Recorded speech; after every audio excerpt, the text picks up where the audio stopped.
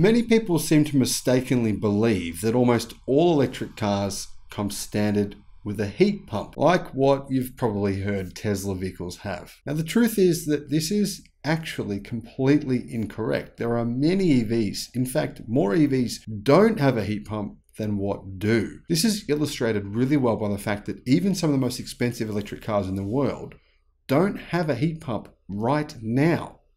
And they're on sale in the US for a lot of money, over 100,000 US dollars. Hello, my friends. Welcome to the channel. I'm the Electric Viking. Great to see you. Thank you for tuning in. Not many people are aware of the reality, which is that Mercedes Benz's EVs, in fact, many of them, don't have a heat pump.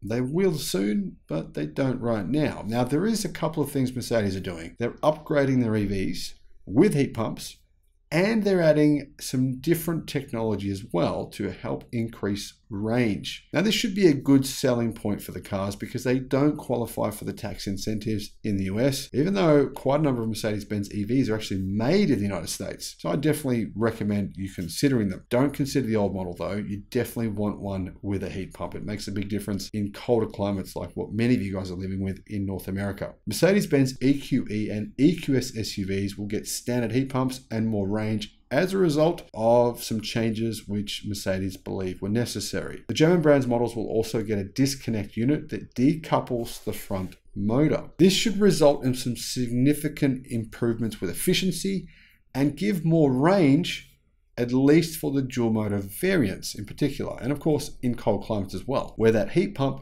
will enable you to get a lot more heat from the car without using a lot of energy from the battery. The three German luxury models are set to receive a disconnect unit called a DCU, the same as the one found on European market EQE SUVs, which decouples the front motor if certain conditions are met, reducing drag losses and improving range. That's one of the key reasons why electric cars, which are dual motor, have a motor at the front and motor at the back, get less range. They always get less range. If a manufacturer says they don't, they're lying. They all do. I mean, of course, you're adding weight having an electric motor. They usually weigh around 90 kilos, but there's some other stuff you need as well to make them work. You're probably looking about an additional 150 kilos on average. So about an additional 300 pounds on average to have a dual motor versus a single motor vehicle. Therefore, range declines, meaning, you know, you really do want a heat pump and you really do want to have this kind of technology to decouple one of those motors so you can get better efficiency, especially if you're going to pay this kind of money for an electric car. These are not cheap cars by any sense of the imagination. According to Autocar, the DCU switches the drivetrain into rear-wheel drive only by idling the front motor and gearbox on dual motor models and switches them on automatically when needed without driver intervention. So you don't have to do anything, it's an automatic process. Now it's unclear when this feature will make its way to United States built vehicles or US bound vehicles, in other words, vehicles going from Europe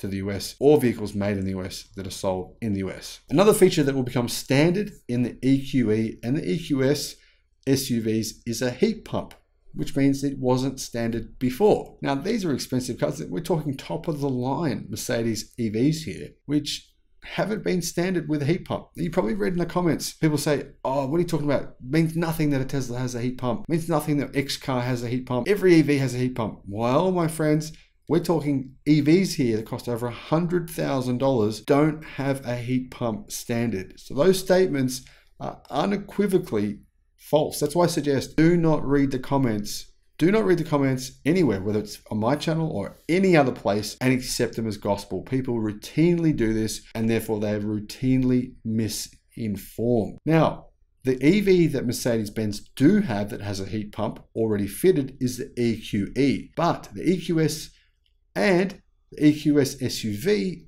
don't, which is bizarre because the EQE is the cheaper of the car, the cheaper of those three models. Now, having a heat pump is very likely to improve range if you're driving in cooler or cold temperatures. So it definitely is something you absolutely want.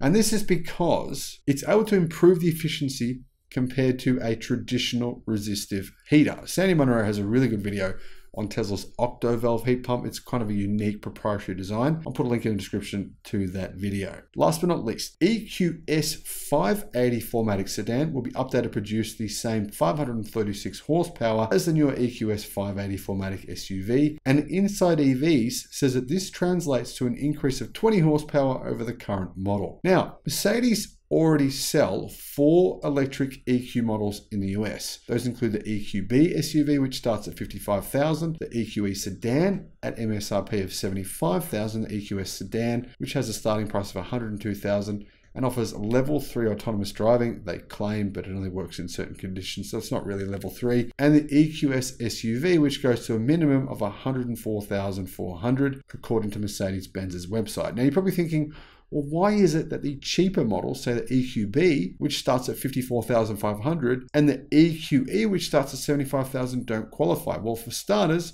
the EQE isn't considered a truck, so therefore it doesn't come below the threshold of 60,000 US dollars. It needs to be considered an SUV to qualify if it costs more than $60,000. As for the EQB, it's not manufactured in the US, so therefore it doesn't qualify. You're still paying 55,000 as a starting price. You're probably thinking to yourself, hang on a minute, EQB, that price is similar to a Tesla vehicle. It is very similar, but of course, once you apply the 7,500 credit, that means the base model Tesla Model Y, which is probably the most comparable vehicle to this, costs 42,500 versus 55,000 for the EQB. Plus, of course, the EQB, as is normal for a, for a luxury brand, Mercedes-Benz, Audi, and BMW, comes with very few features.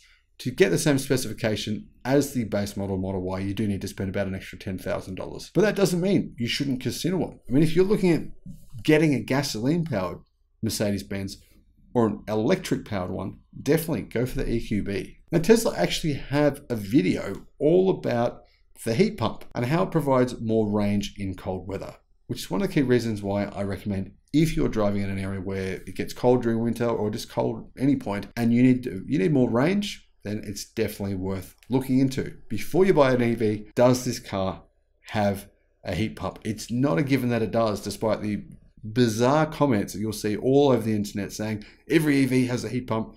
This is actually not true. Let me know your thoughts in the comments and thank you for watching. Bye bye.